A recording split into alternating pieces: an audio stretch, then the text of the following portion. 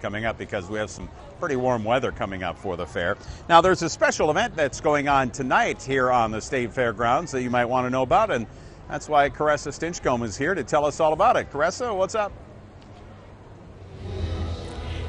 Thanks, Jim. This is the first year the fair has had bronc riding. Not only are these guys performing, but they're competing for a spot in the finals this fall. They range in age from uh, kids to teenagers, or excuse me, teenagers to adults, and the goal is to ride the Bronco for eight seconds while it tries to buck them off. Typically you have bronc riding with the bronc saddle and these ranch cowboys are bringing their stock saddles and putting them on bucking horses and that's like taking a Mercedes out to a four-wheel drive competition in the mud. So it provides to be very enter entertainment.